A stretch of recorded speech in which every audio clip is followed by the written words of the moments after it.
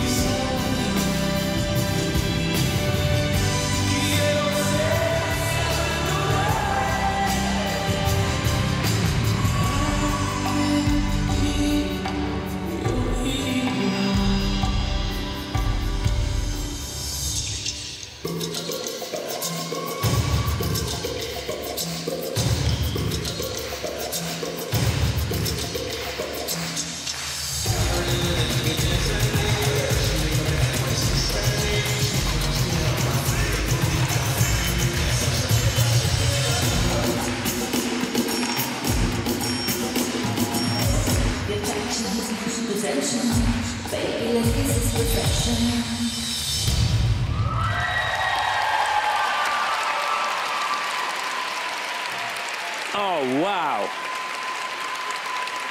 Wasn't that great?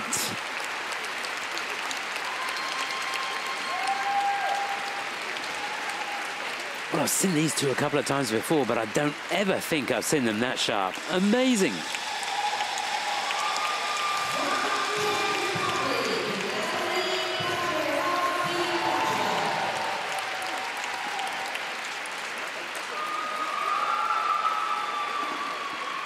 Just sensational.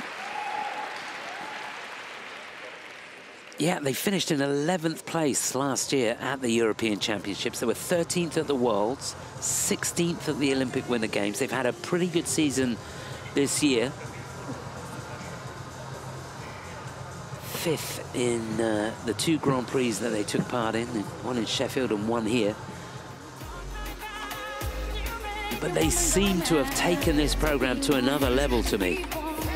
It was brilliant. To be honest, I'd love to watch it again. It went by in a flash.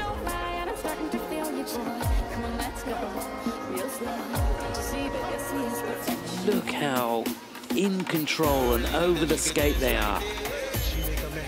Well, I've talked a little bit about getting down in your knees and using your ankles and getting into the ice. And these two really epitomise that. With a couple of strides, they were able to generate so much speed because their basic skating skills are so good. marvelous balance point on that. I thought the editing of the music was sublime.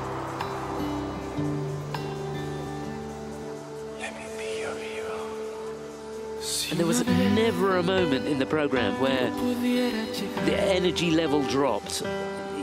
Even in the middle section there, where they they go into the samba, and it, it was still brilliant, wasn't it? Oh, sorry, a rumba. It was a samba at the beginning. Then they went in, this is the rumba. And that last piece, just fantastic.